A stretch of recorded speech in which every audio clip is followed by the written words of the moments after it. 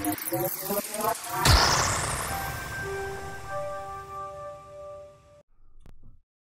folks, this is Pipermac. Uh, it's for channel update. Uh, just figure I'd uh, give you a heads up on uh, some of the things that I got planned coming up there in the near future.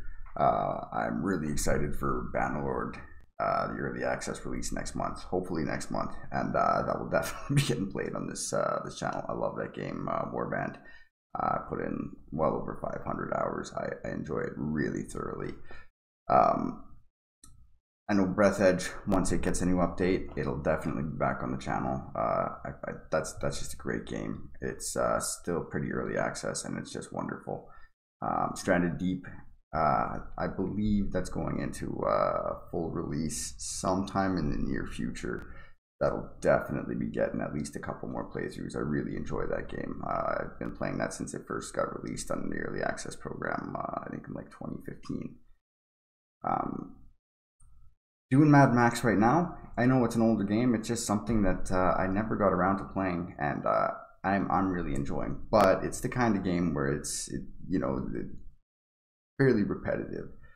Um, so uh, you know, please let me know um, if that's something that uh, you want to continue seeing. Um, I didn't go back to Forager. Uh, I I again, it's a game I enjoy, but uh, if that's something you want to see, uh, you know, just let me know down in the comments. Um, as far as other games, uh, I've been playing uh, Stoneshard. Um, I'm quite enjoying that. It's pixel pixel graphics, action, kind of RPG. Um, I think that's definitely worth a, uh, a spin.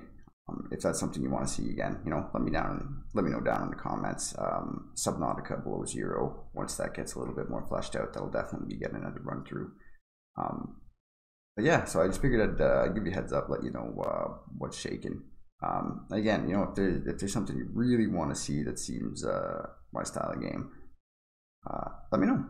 Uh, but uh, anyway, take care, and I will see you next time.